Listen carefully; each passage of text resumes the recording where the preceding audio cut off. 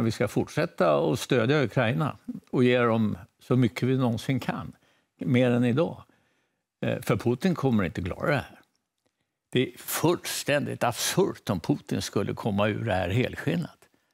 Han ska försvinna från jordens yta. Vi sätter dit småhandlare i Haag i förhållande till Putin. Ska han gå fri? Fullständigt orimligt. Varför har vi då en internationell brotts, brottsdomstol i Haag? Mm.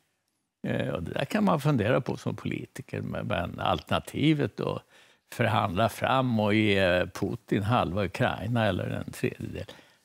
Det går inte. Då är ju internationella samfundet helt eh, ute och cyklar. Då, då har man ju tappat all trovärdighet. Men tror du att, att uh, Ukraina och de länder i världen som stöttar Ukraina kommer klara det? Ja, tror jag. Du tror att man kommer vinna över Putin?